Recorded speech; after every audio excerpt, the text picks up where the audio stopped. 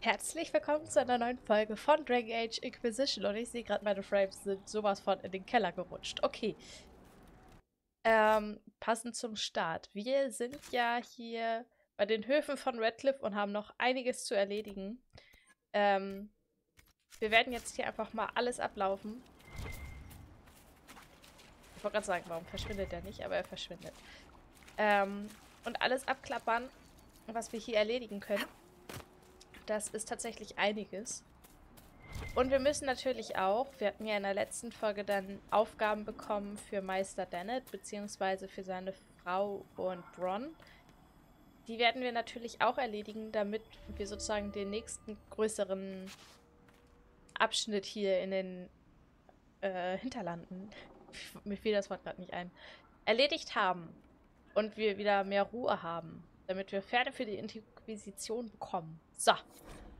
Brief in einem leeren Haus. Endrin. Sie raten allen zu gehen, bis die Magier und Templer aufhören, alles niederzubrennen. Aber ich habe den Blick der Händler gesehen. Wenn wir noch fliehen, räumen sie unsere Häuser aus, äh, räumen sie unsere Häuser aus. Ich bringe unsere äh, kleinen, unsere ich bringe unser kleines Projekt in die Höhlen in den nördlichen Hügeln. Ihr kennt sie ja. Dort ist es sicher, bis das alles vorbei ist. Hessel. Okay, neue Quest. Oder Nebenquest. Rückgaberegeln. Bringen den gestohlenen Schatz zur Festung im Westen zurück. Hier bimmelt was. Ach, Embryum. Ja, wir haben Scherben.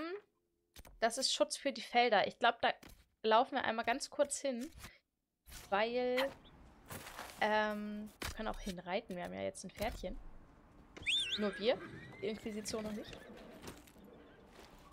Ähm, damit wir das ausstellen können. Ich habe ja schon gesagt, das endet dann in einem Kartentischauftrag, damit wir den relativ schnell erledigen können. Der ist hier halt ein bisschen weiter hinten.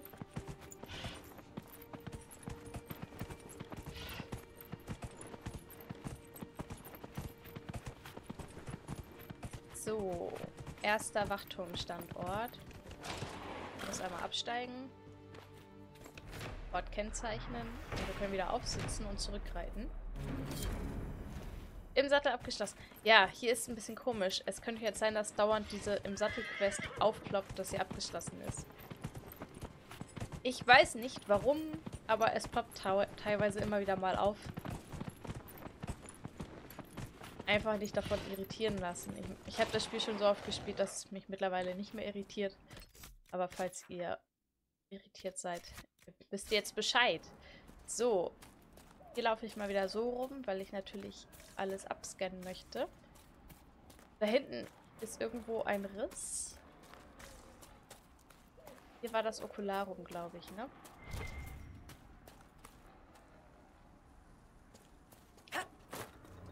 Ach, hier war es. Okay. Hier steht noch Elfenwurzel.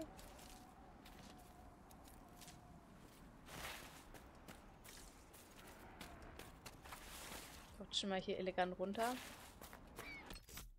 Ich muss leider relativ viel auf die Karte gucken, weil ich sonst an Scherben und so einem Gedöns immer vorbeilaufe. Elfenwurzel.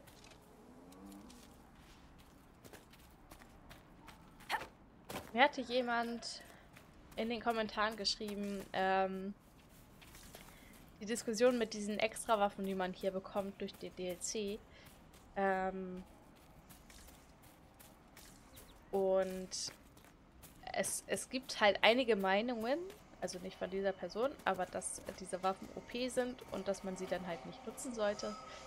Ja, sie sind OP, aber warum nicht das nutzen, was einem das Spiel gibt? Also, wir spielen ja hier auch ein Let's Play, da mag ich es generell nicht so ähm, schwer, weil man ja halt auch nebenbei noch kommentieren möchte. Also, die meisten Leute gucken kein, kein stummes Gameplay. Mm. Und wenn man dann halt so abgelenkt ist durch die Kämpfe, dann gestammelt man nur so rum, wie ich es gerade mache. Und man kriegt keinen ordentlichen Satz zustande. Hier kommen wir nicht hoch. Wir gehen jetzt erstmal den Riss machen, sonst rastet der dauernd aus. Hallöchen.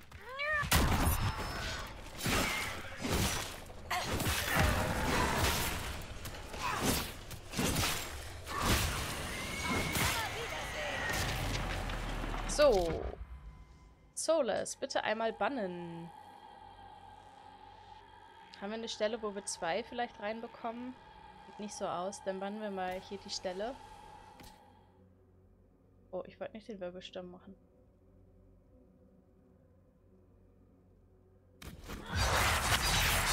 Jetzt habe ich meinen Angriff verschwendet.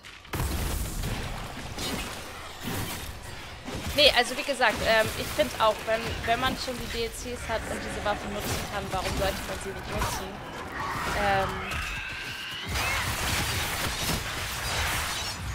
wir haben ja immer noch hier Kämpfe. Ich meine, es sind, die ganzen Gegner sind keine One-Hits. Ich habe das Gefühl, ich muss gerade voll brüllen, weil die Kampfmusik so laut ist. Oder die Kampfgeräusche. Ähm, Nee, also ich bin auch jemand, der das nutzt. Ähm, das Spiel macht trotzdem Spaß. Die Kämpfe sind deswegen nicht baby einfach. Ähm, tatsächlich finde ich auch den normalen Schwierigkeitsgrad absolut entspannt spielbar.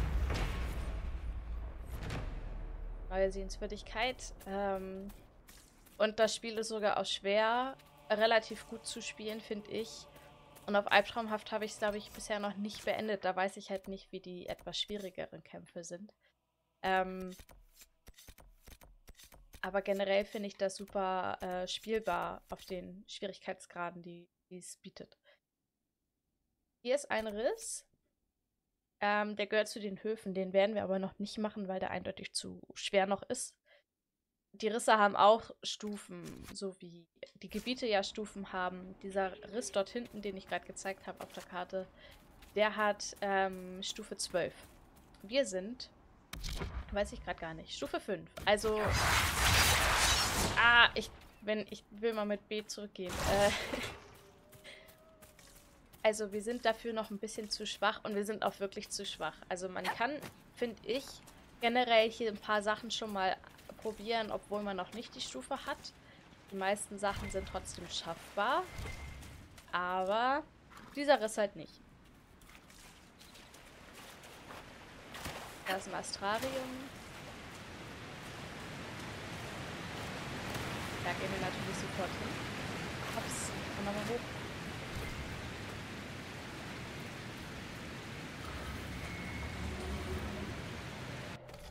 So, was haben wir denn hier? Okay.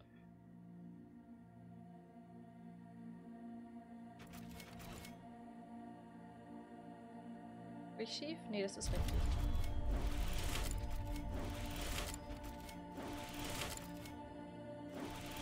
Ich denke mal, die meisten von euch haben die Spiele oder haben das Spiel schon gespielt. Ist ja schon ein paar Jährchen alt. Ähm, es gibt halt einen Trick, wie man diese Astrarien relativ einfach lösen kann. Ich kann ihn gerne verraten, aber ich verrate ihn nur, wenn ihr das wollt. Also wenn ihr mir jetzt in dieser Folge schreibt, dass ihr damit kein Problem habt, dass ich dir mal verraten soll. Schreibt, also, ne? Müsst ihr einfach nur schreiben, so sage ich es jetzt nicht. Ähm, und ich werde es dann wahrscheinlich erst relativ viel später euch äh, verraten können, weil ich halt momentan viel vorproduziere, weil ich jetzt die nächsten zwei Wochen ähm, nicht zum Aufnehmen komme. Zum einfachen Grund, dass ich wirklich mal Urlaub habe, also auch nicht arbeiten muss. Nicht nur keine Uni, sondern auch mal nicht arbeiten muss. Und die Zeit möchte ich gerne genießen. Und nicht noch, ach, nicht zugestellt. Also ist noch eine Scherbe. Hier haben wir noch ein bisschen was. Gucken wir uns hier hinten mal ein bisschen um. Äh, und da möchte ich auch nicht immer unbedingt aufnehmen. Besonders, weil ich dann auch mal unterwegs bin und solche Geschichten halt, ne? Was man so macht, wenn man mal frei hat. Oder länger frei hat als nur zwei Tage.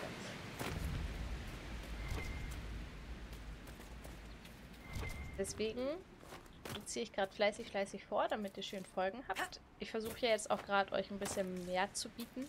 Also mehr Folgen zu bieten. Weil einfach ein bisschen mehr Zeit da ist. Ähm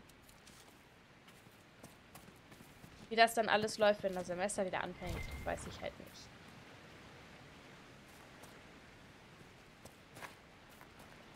wir das machen? Ne, wir machen das mal noch nicht. Ja, wir gehen aber noch nicht rein.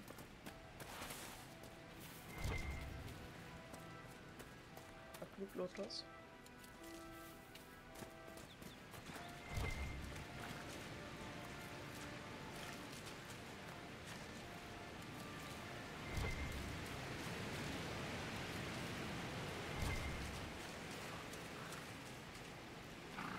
alles Metalle. Ach nee, Blutblutus. Mit Spindelkraut.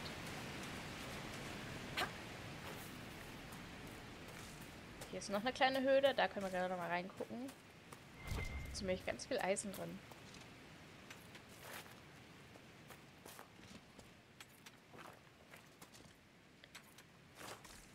Also wenn wir nachher dann die Felder markiert haben, alle, dann werden wir auch einmal ganz kurz zum Kartentisch reisen. Die Quest beginnen und ähm, ja, damit die mal abgeschlossen ist. Also dann abgeschlossen ist. Es dauert ja am Kartentisch auch mal eine gewisse Zeit.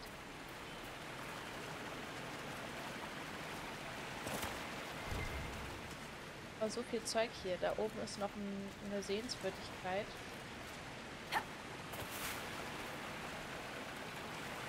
Da wollen wir doch mal hin.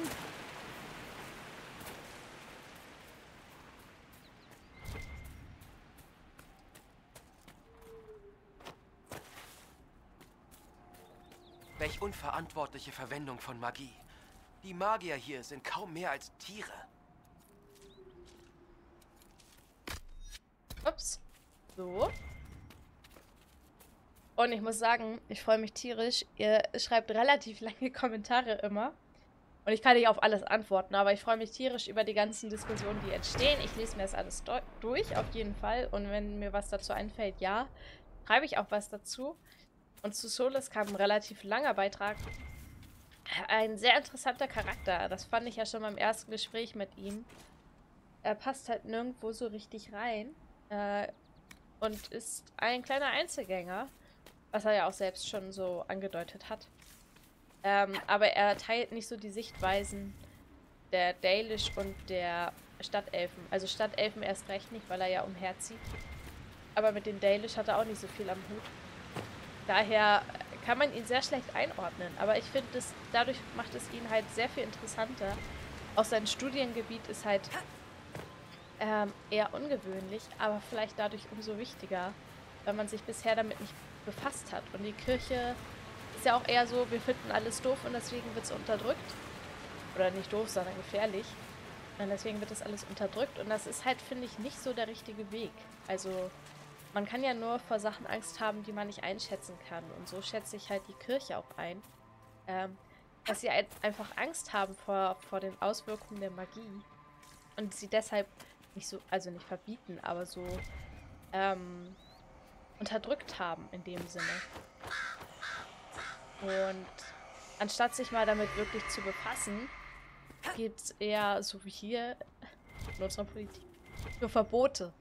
Und äh, daher finde ich die Arbeit von Solas sehr, sehr wichtig, weil man vielleicht einfach mal Hintergründe erfährt und vielleicht auch erfährt, ähm, welchen Ursprung die Magie hat, beziehungsweise wie man mit dem Schleier, mit den Dämonen, wie man mit denen umgehen kann. Ohne alles zu verbieten. Bei einer Leiche gefunden. Bergrid.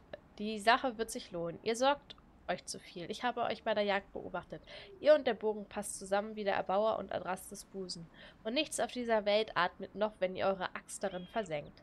Versenkt habt. Und glaubt mir, wenn ihr genügend Bärenklauen habt und vergesst, nicht, sie müssen groß und stattlich sein, nicht, dass ihr mir irgendwelche von einem Jungtier anbringt und dazu entschuldigend lächelt, dann werdet wir etwas tun, das uns beide reich macht. Denkt an die Mädchen von Redcliffe, die an eurem Arm, Arm hängen werden, Bergwood.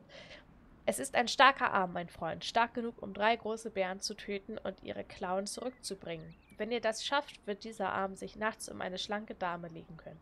Viel Glück und kommt nicht ohne Klauen zurück. Jaska. Mhm. Immer alles für die Frauen. Immer Frauen beeindrucken. Nicht zugestellt, okay. Ja, in die Höhle gehen wir irgendwann nochmal. Dann gehen wir jetzt erstmal hier uns diese Quest noch abholen. Dafür müssen wir heil hier runterkommen. Ach, hier ging es auch hoch. Ich wusste, es gab hier irgendwo noch einen Weg nach oben, wie man hier relativ einfach hochkommt. Oh, wir haben endlich mal wieder einen Feind. Aber von wo? Ich sehe nichts. Also ich sehe den roten Punkt auf der Map. Ja, der muss noch da oben sein. Ist das wieder der Widder? Nee. Dann machen wir mal Rückzug.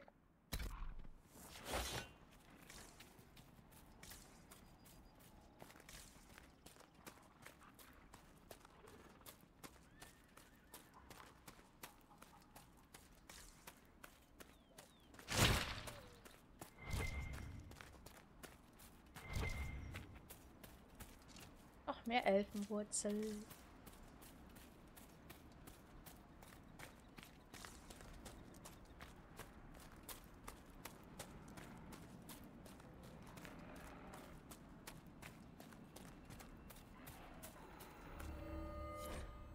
Eine Bitte von Herzen. Mein preisgekrönter Wiesent namens Ruffy wird vermisst. Es ist bei einem er ist bei einem Dämonenangriff weggelaufen und wurde zuletzt in der Schlucht gesehen. Wer ihn findet und auf mein Gehöft zurückbringt, erhält eine Belohnung. Eine Mitteilung auf einer Anschlagtafel. Eine einfache Karte zeigt, wo sich der Bisant ungefähr auffällt und wohin er zurückgebracht werden soll. Okay, dann werden wir noch diesen Bisant suchen. Oh, ein Mosaikteil. Sehr schön. Das Reich von Tevinter, das lese ich nicht vor.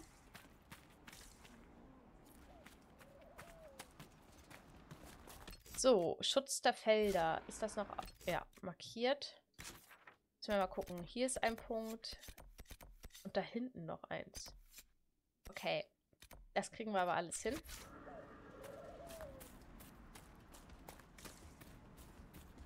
Wir hier rüberspringen? Ja, schaffen wir.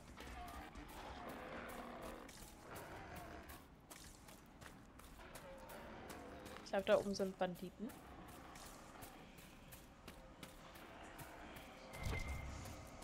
Da liegt noch eine Scherbe. Oh nein, falsche Taste. 12 von 22 Scherben gefunden. Ja, das sind Banditen. Tötet sie alle! Ja, tötet sie alle. Auf Nimmerwiedersehen!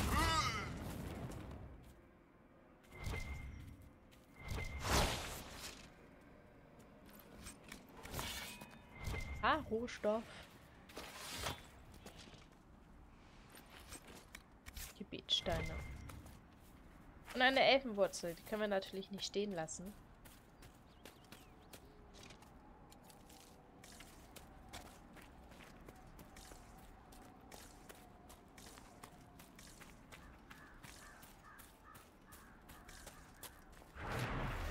Der zweite Ort ist gekennzeichnet.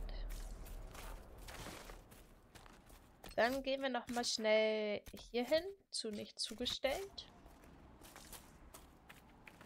Oh, seid ihr Menschen, die auf Karten sich Wegpunkte setzen, was markieren? Oder lauft ihr lieber so blind über die Karte und äh, lauft nicht gezielt los?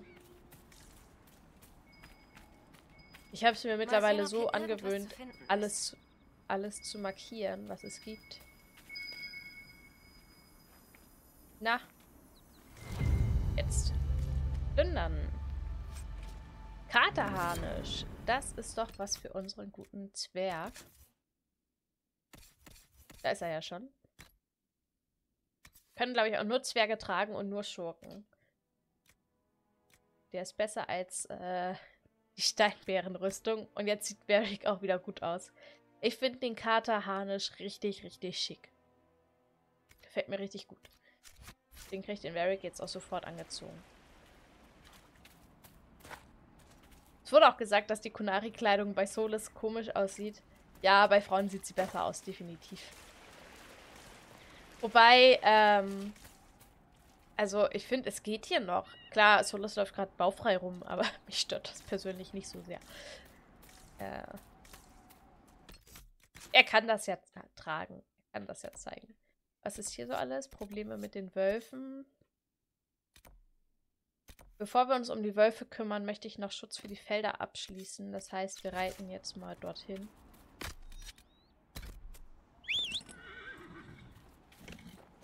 Und dann geht es einmal ganz kurz zurück nach Haven, damit wir den Karteneinsatz starten können.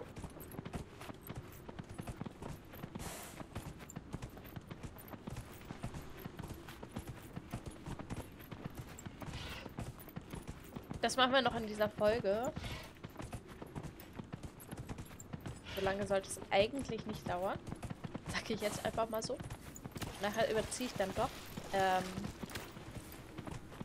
hier will ich nicht lang reiten. Wir reiten mal da hinten lang.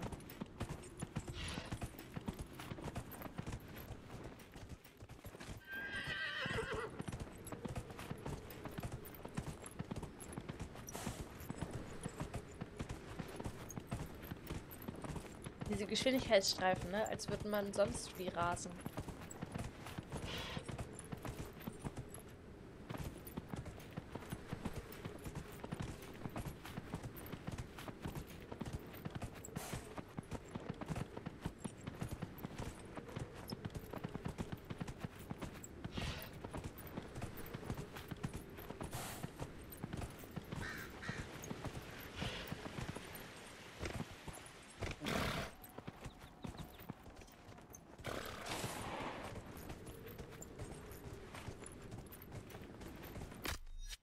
Oh, nein. So, jetzt galoppieren wir auch wieder. Eben waren wir nur im Trab, aber hatten schon die Geschwindigkeitsanimation.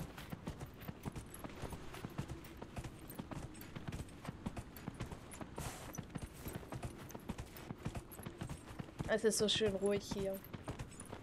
Ich freue mich da jedes Mal voll drüber, wenn man nicht mehr hier jeden Tag, also die ganze Zeit die Kämpfe hat.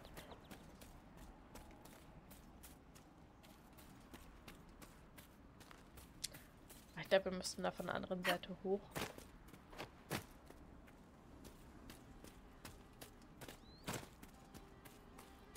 Zwar hier hoch. Elfenwurzel nehmen wir noch mit.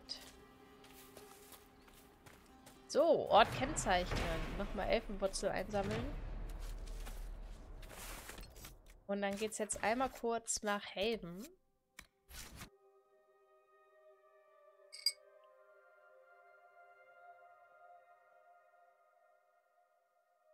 Ich gebe es einen Schluck zu trinken. Irgendwie hört es wohl noch. Die Stimme ist heute wieder ein bisschen komisch.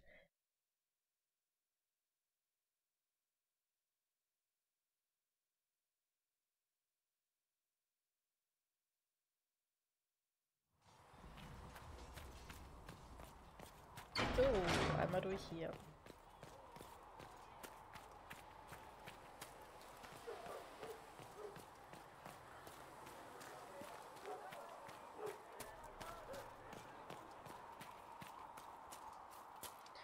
Beiden stehen hier immer noch draußen ich rum. in diesem Zirkel nicht gute Templer und böse Magier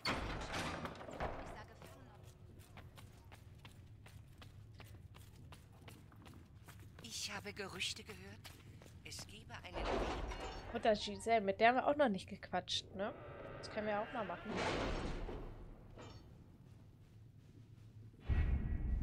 So. Forellen. Wachtürme errichten. Neues gehört, Liliana? Irgendetwas, wovon wir noch nichts wissen? Nein, nichts. Also, die Flüchtlinge in den Hinterlanden sehen sich der Bedrohung durch Banditen, Dämonen, abtrünnige Magier und desertierte Templer ausgesetzt.